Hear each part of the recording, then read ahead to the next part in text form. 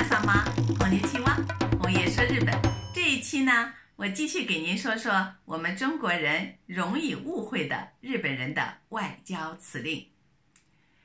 什么样的外交辞令容易让我们误会？上一期我已经说过一些了。那么还有一些，比如说我们中国人如果和日本人一起交往的话，要分别的时候，我们比或者说毕业啦，或者说搬家啦，要告别的时候， 告别的时候，日本人一般都会说：“哦，你不在了，我们很寂寞呀。”嗯，那个傻逼西库哪里哦，嗯，这样的话。那么如果翻译成我们中文的话，好像就说我不在了，他会觉得寂寞，是不是？好像我们有时候会误会说，哎，是不是他对我挺好的，或者他挺喜欢我的？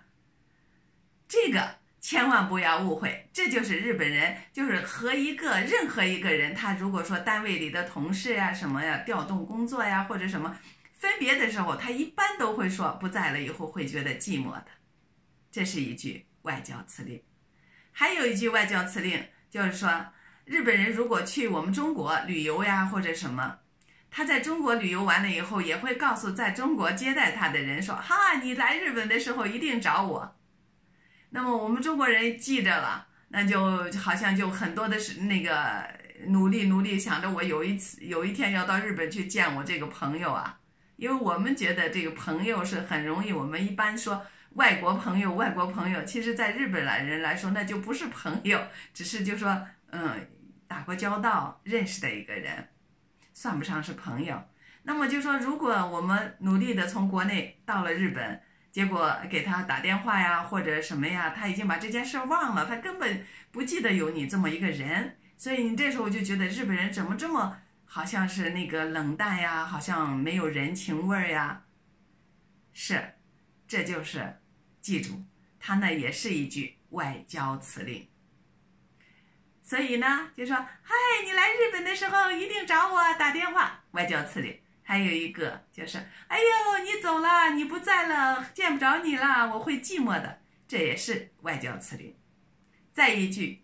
就是日本人一般见年轻的女女孩子都会说啊，你很漂亮啊，你是美人呀。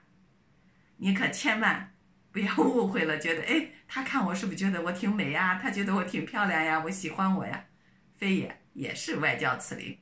所以这三句外交辞令啊，他说的时候，你就觉得，你就想想，他只是一种在那个当时的那个情景下，表示一种友好的，让关系融洽的，不要出什么误会，不要出什么纠纷。他就是日本社会里就整天是维持大家你好我好大家好，比较那个呃友好的一种状态，但是彼此呢。又是没有实质上、实质上的利益的关联的，所以这三句那个社交辞令你也不要误会了，误会了你会觉得，嘿，你说让我来找你，我打电话你记不住了，你什么人呀？哎呦，我说我要调工作，你说我不在时你就寂寞，那我不调了，我就一直留在这儿。哎，你怎么对我又是这样的呢？